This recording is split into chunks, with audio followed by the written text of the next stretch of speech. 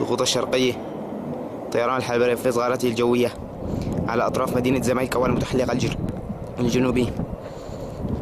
29 9 2015